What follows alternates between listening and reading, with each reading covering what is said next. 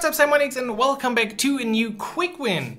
Today we're talking once again about HTTP calls and especially we will use the Capacitor native HTTP plugin.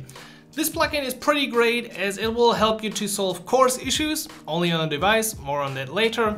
Uh, you can manage cookies with that plugin and you can even download files with that plugin. And we will take a look at the first and the third option. We won't take a closer look at cookies. Uh, if you want to see something about that, just leave a comment. If you want to follow along the course, uh, the code of this video, go check out link below the video for all Ionic Academy members. And if you're not yet a member, go check it out, ionicacademy.com, my place to help you with everything Ionic, courses, community, templates, everything that you need to get started and get fast with Ionic. So let's dive into today's topic and build a cool application to solve CORS issues and download files.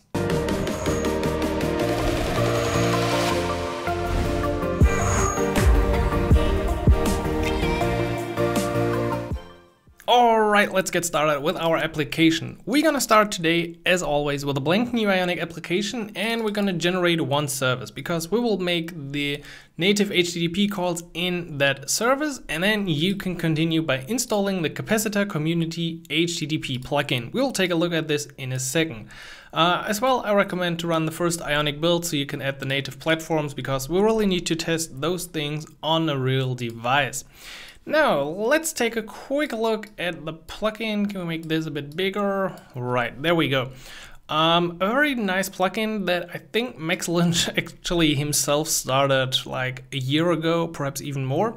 Can be used as well with Capacitor 2, uh, but right now it's already uh, made for Capacitor 3, so if you want to use an older version uh, or your application is still using Capacitor 2, make sure you install it in that way. Otherwise, the cool thing is we don't need any configuration anymore.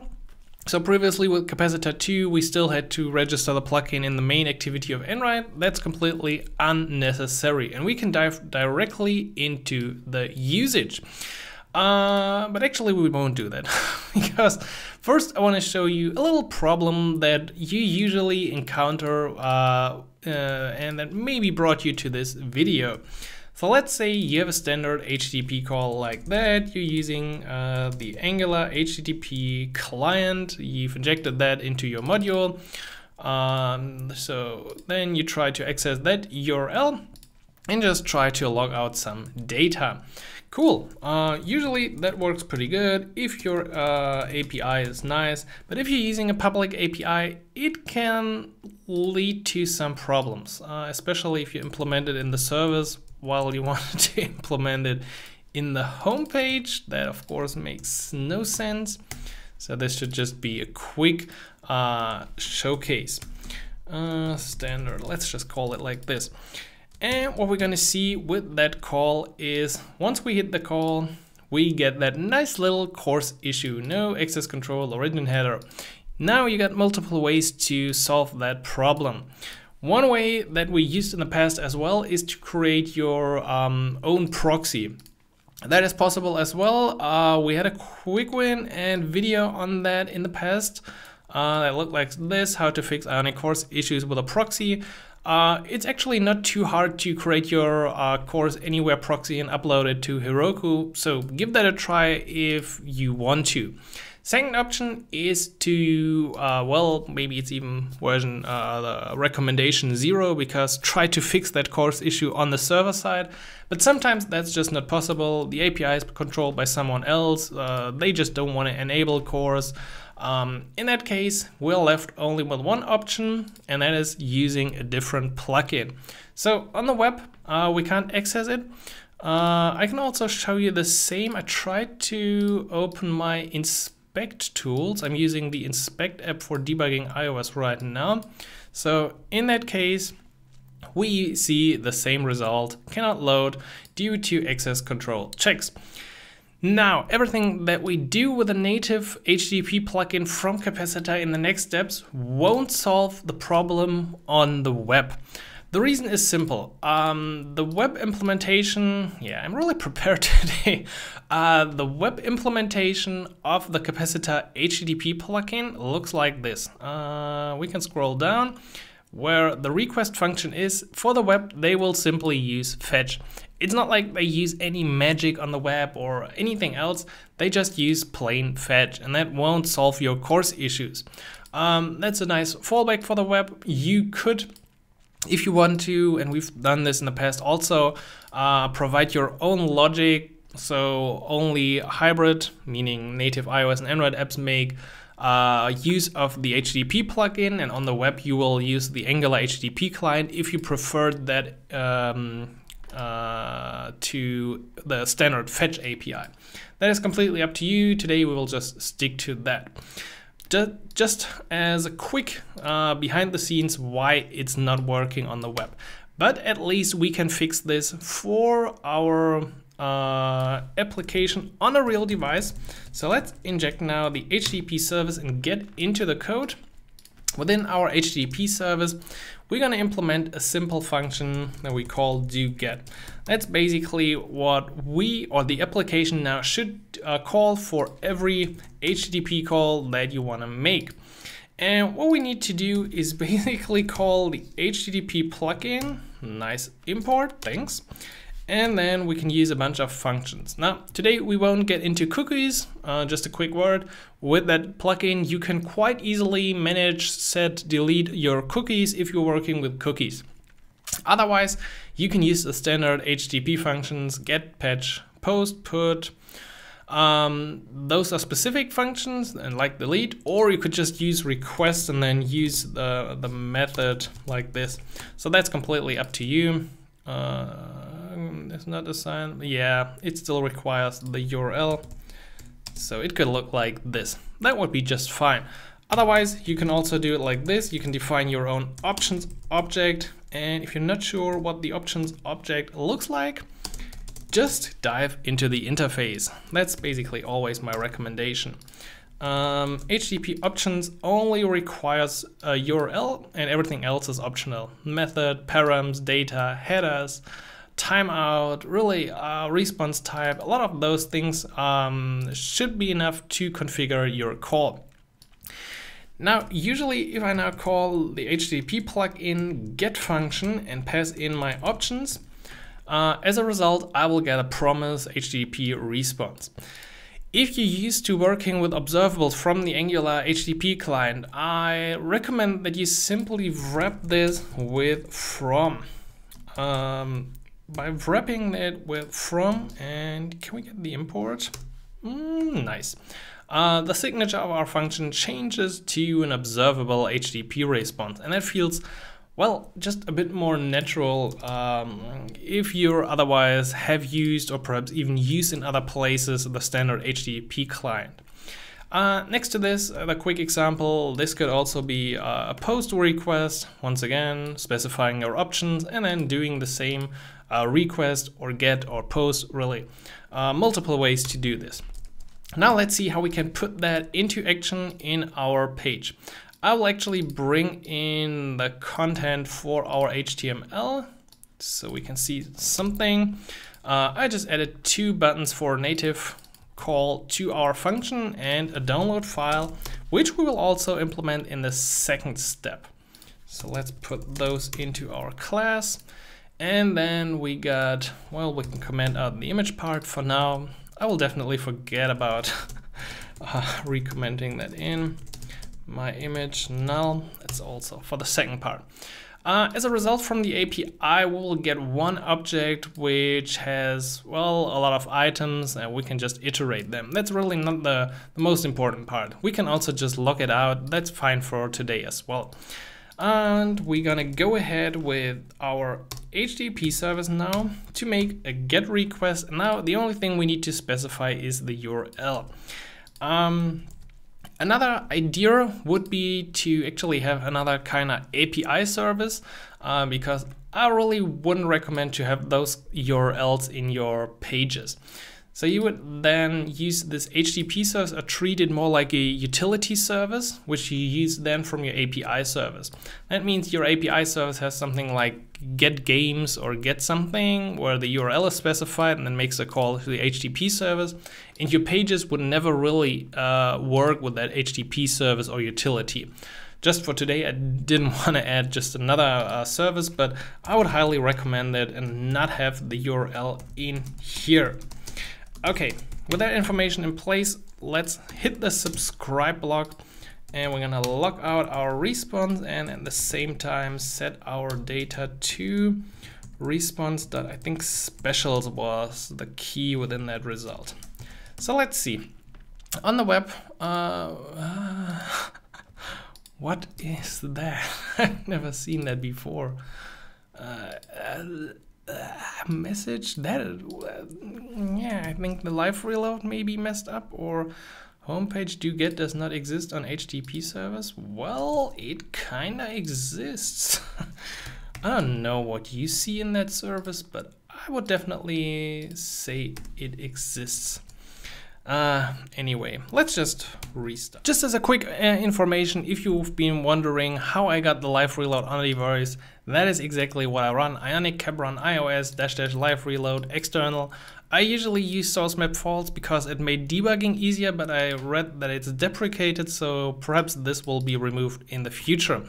Anyway, now it's working again, and we see on the web we are still getting the same error. That's what I explained before, we're using fetch, so no wonder.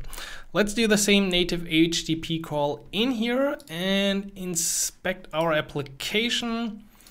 And as a result, can we, do we actually implement something? Yeah, we see that we get back this result. And in fact, the result is wrapped in data specials. But the good news is we actually get a result. So we can just put in the data in here and then let's do a call once again and we're finally able to get the data on a device. Um, that was kind of hidden API from Steam. Maybe we should do a tutorial about this. Let me know if you're interested in something with the Steam API. Could be possible in the future. Now, that was part one. We've now been able to overcome the CORS issues that we encountered before by using the native Capacitor HTTP plugin.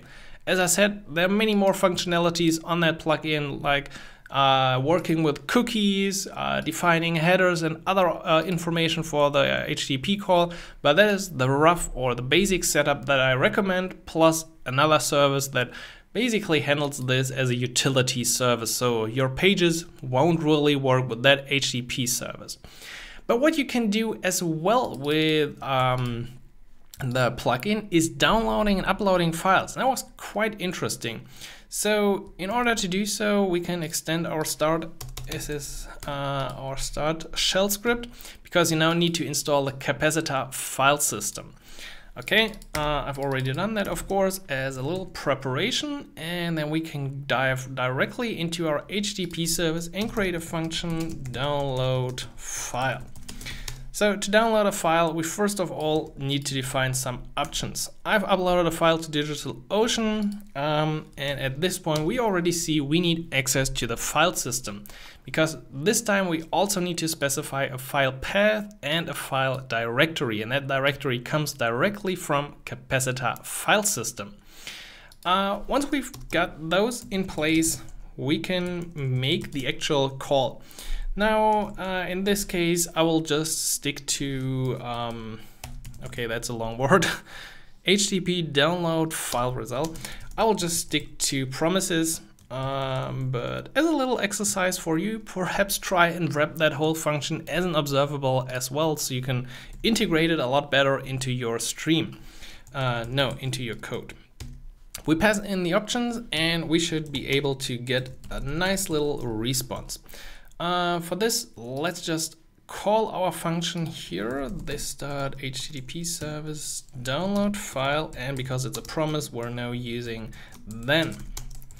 Okay, let's log out finally the result in here as well as a little, well, exercise. And then let's see what's happened on the web. On the web, we get back a blob. That's interesting. We should be able to convert that blob somehow into an image.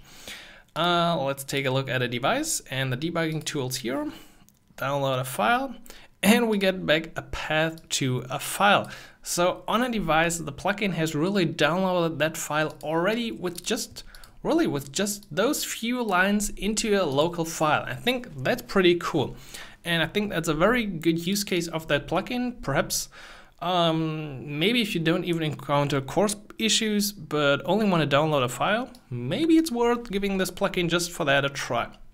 Now, um, if we also want to uh, display it, let me quickly bring in a few functions because first we need a little helper function for the web to convert a blob to a base 64 string. Once we got that in place, we can put in our logic. So we've seen on the web, we got a blob, on a mobile uh, device, we got a path. So if we got a path, we will use the capacitor file system plugin to read that file. Uh, actually, the path isn't doesn't look like that. This should be the name, right? So let's do a quick change. What could go wrong with my code? Of course, everything will go wrong, but just make sure you're using the same directory. And then we can return uh, the data from that file plus the base64 information. In case we're on the web, we just gonna return our function which converts a blob to base64 string. And now let's hit save and check out the applications again. On the web, we now finally get back this cool little string here. That looks good. Uh, on the mobile device, we in the end get back this little string. No, that's pretty good. Uh, that means we just need to set my image to the data. This dot my image equals result, and then we're mostly good. Especially on a mobile device, we are at this point fine. That means we've downloaded a file, stored it locally, and read the file from there and presented it just with a few lines of capacitor code. On the web, the story is a bit different because well, because it just works. Um, that wasn't what I what I expected. That's certainly not what happened before. um, well, well, that's interesting because in the past it didn't work like that. You still had to use the uh, private DOM sanitizer. I will just to make this complete bring it in because I'm not sure if that is really that is correct right now. In that case, uh, we would just use it like this to uh, bypass trust resource URL and then uh, it will be fine for Angular. I don't know why it was fine for Angular right now already. That really doesn't look right to me. So I think you definitely need the DOM sanitizer to sanitize the base64 string, but then you're able to have the same code running on the web and on iOS once again, the native HTTP call, uh, which is preventing the CORS issues, is only working on here. On the web, it is still using the fetch API. So for the web, you still have to either fix the API or use the CORS proxy like shown in my other quick win. Alright, and that's it for today. I hope you enjoyed this quick introduction to the native capacitor HTTP plugin. Once again, as a recap, if you encounter CORS issues, this plugin will help you to at least solve them on a device. If you also need a web implementation, well, you need to either talk to the API uh, and let CORS be enabled in there, or you can use your own proxy to overcome CORS issues on the web, but with that plugin, it won't just magically work. Also, this plugin is definitely great for managing your cookies and for downloading and uploading files. Perhaps we will just use it for that uh, later part, as in the past we had a Cordova plugin uh, at some point that was discontinued, so perhaps it's just worth using it uh, only for downloading and uploading files, because that worked really great with just a small snippet of code. We were able to download files and it worked both on the web and on a mobile device. So give the plugin a try and of course leave a like and hit the subscribe button so you get notified about all the upcoming Ionic videos, you know, fresh content every week. With that, I hope you will have a great week and I will catch you next time. So happy coding, Simon.